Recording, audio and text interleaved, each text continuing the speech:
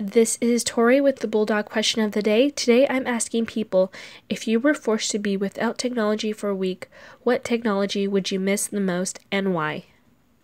I would probably miss my phone the most because it has all of my favorite music downloaded into it. oh, uh, hi, my name is Carlos Velasco, and the technology I'd miss the most is my cell phone because I use it for everything. Um, I've relied on it. I, I've relied on it a lot, and it helps me out a lot.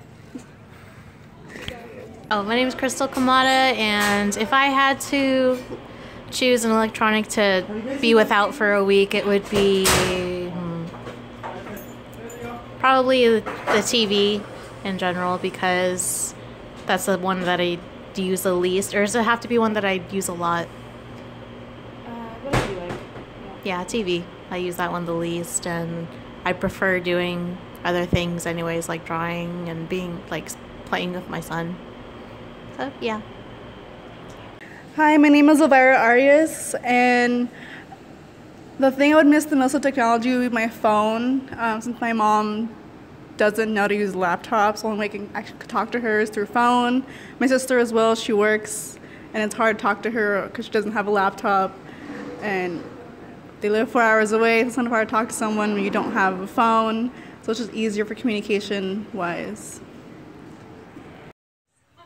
My name is Naomi Custodio, and I would be without my sound machine that I sleep with at night. The reason I would miss it is because it helps me go to sleep and helps me stay asleep all night long.